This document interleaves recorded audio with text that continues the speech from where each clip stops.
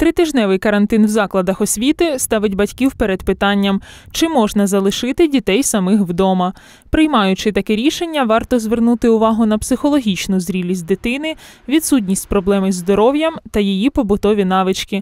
Правоохоронці нагадують, залишаючи дитину саму вдома, разом пригадайте основні правила поведінки. Слід е, провести з дітьми бесіду та змоделювати ситуації, наприклад, що робити, якщо незнайомець телефонує або дзвонить у двері і просить відчинити.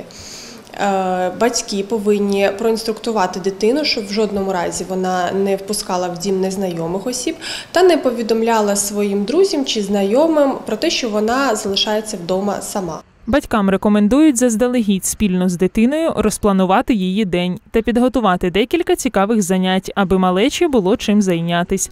Обов'язково варто домовитись і про регулярну комунікацію. Наприклад, з якою періодичністю дитина буде виходити на зв'язок із батьками, наприклад, щогодини телефонувати або ж е, переписуватися за допомогою повідомлень. Доцільно розказати про небезпеки в мережі інтернет та обмежити доступ до певних сайтів, нагадати правила відкриття вікон та балкону і визначити електроприлади, якими можна користуватись. Варто також обговорити з дитиною екстрені ситуації, пояснити, які вони бувають, та перевірити, чи знає дитина номери телефону екстрених служб. Навіть якщо вона правильно вказує всі ці номери, вам варто, як батькам, е, написати їх окремо на аркуші паперу та залишити на видному місці, щоб в будь-якій непередбачуваній ситуації дитина могла швидко зреагувати.